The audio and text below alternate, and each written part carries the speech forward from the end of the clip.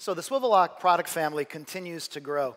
Um, this is by far the most popular suture anchor line in the world, most important anchor line that we have at Arthrex. And we continue to innovate, adding new materials, new sizes, new tip configurations, new suture options uh, to allow it to be used throughout the body.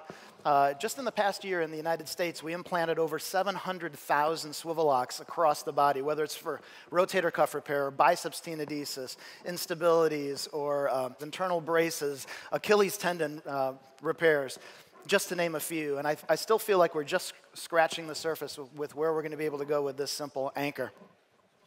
And some of the things that we like the most about this anchor family is the fact that it's cannulated and vented, uh, allowing for blood and bone marrow to flow through the anchor and allowing for bony ingrowth, as is shown here in this canine model and also in this humeral head explant at uh, 12 months post-operative. So one of the best applications for the swivel lock is with fiber tape and rotator cuff repair, whether single or double row. And what you're seeing here is a speed bridge construct where we're taking advantage of that fiber tape, 2.5 millimeters wide, excellent tendon compression onto the bone, excellent resistance to tissue pull through, 30% higher resistance to tissue pull through than a number two fiber wire, and just an excellent way to complete a double row rotator cuff repair. So, one of the best parts of my job is being able to, to talk with you, our key opinion leaders, and listen to your thoughts, uh, get your questions, get your product requests, and then work with you to try to come up with solutions. So, I'm going to use the rest of my time to address some of these uh, questions that we talk about quite often. So, something like Do I need to tie medial knots uh, for my double row uh, cuff repairs? So, Peter Millett is going to be talking to you about his strong preference for totally knotless speed bridge repairs here in this session. Uh, what can I tell you is that our SOS data supports knotless speed bridge. Uh, shows that the outcomes are basically the same. Uh, no statistically significant differences between knotted and knotless techniques. But one thing that is dramatic is the time savings.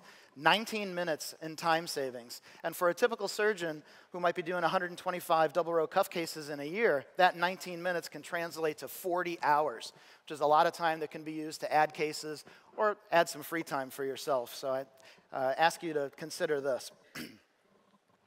Does a single row repair do a good job of reconstructing the footprint? So Chris Adams and I went into the lab and we uh, created a crescent-shaped cuff tear and we repaired it with a standard single row, two corkscrews, four simple stitches placed in the middle of the footprint. And you can see here, when you take the arm into abduction and rotation, what you're left with is basically a big pasta lesion that you'd probably want to correct if it was an isolated, uh, an isolated incident. So we then went in and cut out that uh, single row repair, and in the same shoulder went back and replaced it with a, a speed bridge. And now what you can see is the speed bridge does a, a much better job of keeping that tendon down onto the footprint uh, with both internal um, rotation and abduction. So I definitely would prefer to have that repair in my shoulder. Getting on to some products. Can I have a double loaded swivel lock with tiger tail? So we've had a double loaded swivel lock for some time, and it's been loaded with a fiber wire CL suture, a coreless fiber wire. And some of our customers have liked that a lot, but we've got a lot of fiber wire, traditional fiber wire fans uh, uh, amongst you as well. So we wanted to come up with a double loaded swivel lock that uses number two fiber wire tiger tail. And the tiger tail sutures are unique in the sense that half of it is solid and half of it is striped. So if you're in a teaching institution, it's a wonderful tool for helping you uh, with your suture management with your fellows and your residents. The other thing that we've added is you'll see here is this orange suture release tab. So this will help hold the eyelet onto the driver a little bit better and also allow you to, to release those sutures without having to worry about trying to untangle them or untwist them off the back of the driver. Can I have a knotted cuff anchor with suture tape? So my first answer has to be, we are the market leader in rotator cuff repair, uh, and 70% of the, knot, of the anchors that we sell are knotless. This is data from 2016. So far in 2017, we're already trending up closer to 72, 73%. So we are strong believers in knotless anchors, but we hear you. You want a knotted cuff anchor with suture tape. So here it is. This is a 5.5 millimeter biocomposite corkscrew FT with suture tape. Uh, this has all the benefits of our standard 5.5 corkscrew with the suture eyelet, with the vents, with the excellent insertional torque and all, and is now available with the suture tape suture, which gives you that great handling characteristics, shorter knot stacks, stronger knots. And again, we encourage you to come out, uh, visit us at the booth, and play with this suture. Can I have an anchor with more vents and suture tape? So this is our new 4.75 millimeter corkscrew FT with suture tape. This is a massively vented anchor. It has vents on four sides uh, as opposed to just two. Uh, it still has a suture eyelet configuration with it. Uh, it is going to be available in peak first, and the biocomposite versions will be coming a little bit later this summer. It takes us a little bit more time with the FDA, with degradation studies and all, to get our biocomposite products out. So sometimes the peak ones come first. Can I have a smaller triple loaded corkscrew FT? So my first answer to that is also that the SpeedFix ripstop, we believe, is a better choice. So it's a knotless repair, a standard SpeedFix with an extra suture passed medial to the crossing part of the, uh, of the fiber tape in the SpeedFix, uh, leading to a ripstop configuration that's equivalent in strength to a triple loaded anchor, yet much quicker to do, much lower profile, and much more consistent. But we will give you an opportunity to have a 4.75 millimeter corkscrew FT, that same massively vented anchor body uh, that's going to be triple loaded with, um, with tiger tail. I like using soft anchors medially. Can I still do a speed bridge? So as Dr. Kane alluded to, we do have now the FiberTac DR. This, the DR stands for double row, and this anchor is intended for use as the medial row anchor of a uh, bridging rotator cuff repair construct. So the labral tape is fixed to the sheath. It's actually stitched to the sheath so it cannot slide, just like your, your swivel lock with fiber tape in the medial row of a speed bridge construct. It also has a sliding number two tiger tail suture, kind of like the eyelet stitch of a, of a swivel lock in the medial row, that you can either incorporate into the repair or discard. This anchor is available now, and to give you an idea of how it's used, this is a, a video that we created with uh, Dr. Larry Higgins, who's going to be talking about the use of this anchor in subscap repair shortly. So the anchor inserts through a guide. We have both drill and punch options available for you. Again, we use that suture release tab that allows you to easily remove the drill guide and the inserter handle. Here you can see how that, that tiger tail suture can slide very easily in the anchor and be incorporated or discarded.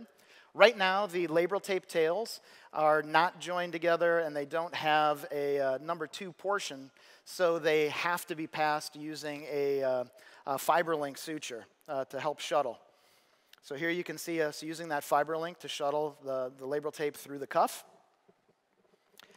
We see a, a, a, big tendency from our surgeons to want to use three anchors immediately here, and we have three different color combinations available to make that easy and convenient. You did have that fiber link that you used for shuttling, so we encourage you to incorporate it into your repair uh, to help proactively go after any dog ears that you might have. And from that point forward, it's just a standard insertion of a swivel lock for the lateral row, and you can wind up with a very, very nice, knotless, uh, double row construct using soft anchors if that's your preference. Could I have a bigger cuff version of the knotted fiber tack? Yes, you can. This is the FiberTac RC. The RC stands for rotator cuff, and this will come double and triple loaded with sliding suture tapes. This will be available uh, in time for Academy. Another big question has always been, what can I do for a young patient with an irreparable cuff tear and no arthritis? So the answer that we've come up with is superior capsular reconstruction with Arthroflex. And uh, this technique has, has really taken off for us. And basically, all we're doing is taking an Arthroflex, a three millimeter Arthroflex, and connecting the superior glenoid to the, uh, to the, to the greater tuberosity and trying to make sure that we can push that humeral head down, uh, minimizing any potential for, prox- uh, for superior migration, recentering the head on the glenoid, and uh, giving you excellent pain relief and great mobility. And I'm not going to talk about this very much because we've got a very, very illustrious panel uh, that's going to address you in the SCR section of the program here. We'll have our own uh, Chris Adams talking about uh, the evolution of the technique. We're very honored to have Dr. Uh, Teru Mihata, who is the inventor of the technique. He's been doing it since 2007 using fascia lata autograft in Japan. We've got Thay Lee and, and Gus Mazzocca here to talk about uh, biomechanical test results. We've got Alan Hirahara, who was one of our, our initial developers and early adopters in the United States and helped us develop the technique. We've got Bill Pennington, who's probably the most prolific user, done over 100 of them, and has used them in, co- uh, in conjunction with uh, hemiarthroplasties. Dr. Burkhart's going to talk to us about uh, his brass group study results and share some pearls. And we have Peter Millett, too, who will uh, monitor what, what will be a great uh, panel discussion, I'm sure. So, what can I tell you as a product manager about Arthroflex? Well, since 2014, we've done about 6,000 cases with that 3 millimeter Arthroflex SCR graft. The graft is strong, it's sterile, 97% of the DNA has been removed from it. It's very convenient in that it has an ambient storage with a three year shelf life. It could be ready for any case when you need it. It's hydrated and ready to use.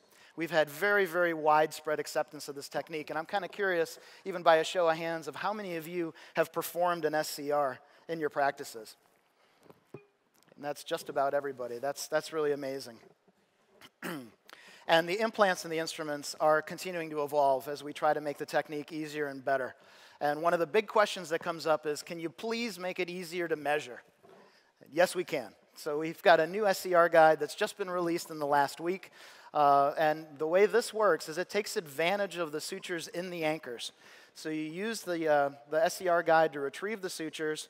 You grasp the sutures, slide down to the anchor, look at the uh, scale on the back of the shaft, make a mark on the sutures, and then just drag the suture over to the next anchor. So it's very nice to use around a curve and then just look and see how, how, how far that ink mark has moved. Here's an example where we're using the, the tuberosity anchors, and instead of making an ink mark, we're using a hemostat, which is even easier. Now we drag the sutures over to the next anchor, and on the outside, we just take a look and see how far that hemostat has moved. So we're right at 35 millimeters. So this will be very good for, for quick and very accurate measurements for our SCRs.